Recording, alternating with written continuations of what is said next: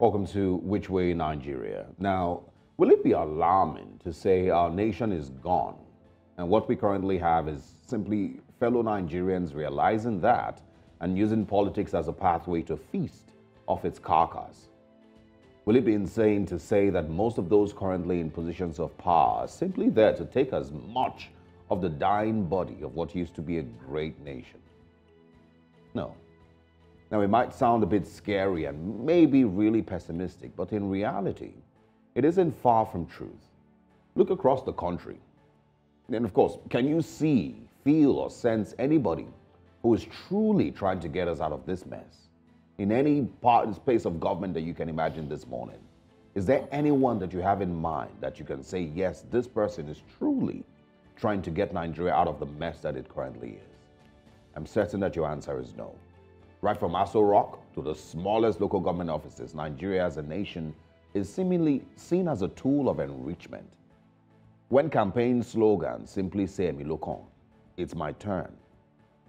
That's a very clear sign that personal fulfill fulfillment is all that matters at this point. And a lot of people use the same campaign slogan, even if they didn't voice it, but they took it in searching for their political you know, aspirations. Nigeria is dying and they are simply feeding off its dying body. There's not one person in government today that inspires hope. There's not one person in government today that inspires the possibility of a better life for roughly 200 million people. Your National Assembly, your state governors, your judiciary, even your presidency. There's nobody in those spaces that makes you feel different. Nigeria is dying, and they are gleefully feeding off its dying body. Let's take a moment to look at some of the factors that define a failing state and see if any, if any of these may sound you know, familiar. Political instability, economic decline, social unrest, security issues, corruption, human rights abuses, faltering infrastructure, high levels of debt, and maybe even refugee, refugee crisis. There's none of these issues that we aren't currently dealing with here in Nigeria. But then put that side by side with the actions of the people in power the president is currently on holiday in France. State governors are fighting themselves, and of course, their godfathers. The judiciary is currently with its lowest confidence ratings across Nigeria. Again, Nigeria is dying, and they are simply feeding off its dying body. Again, I ask, when is Mr. President going to return and start being president? When is the National Assembly going to start speaking for and maybe addressing the concerns of the people? Nigerians, a big question for you is Is this what you voted for? When, I mean, when you stood in the rain and in the sun to get your voter's card, when you stood in rain and sun and went through all the violence that came with the elections, is this what you voted for? When is the last time you saw anyone in government say something that you believed in?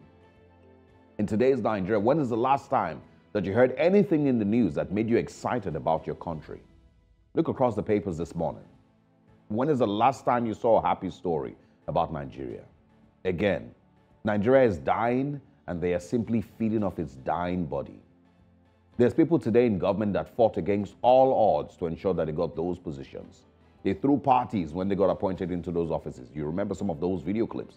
But it wasn't because of the happiness to serve our great nation. It wasn't because of their hunger to give and sacrifice for the growth of our country. It was because they saw an opportunity to finally have access to power and the benefits that come with it. Again, Nigeria is dying, and they are simply feeding off its dying body. There was a time people had honor and dignity and a name to protect. There was a time when our nation compared growth statistics with countries and other countries here in the continent and, of course, beyond. There was a time when analysts placed us among countries to watch out for in the coming years. Today, we have back to back people who fail woefully as ministers and governors and feel zero remorse, mostly because they never had any interest in fixing anything.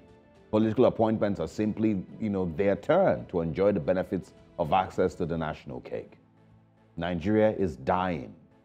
And we plead this morning, we beg that those who currently have those positions, so please remember that the nation may have been set back 20 years economically by the previous government. But for those who survived, they may not be able to survive, survive another eight years of stagnation.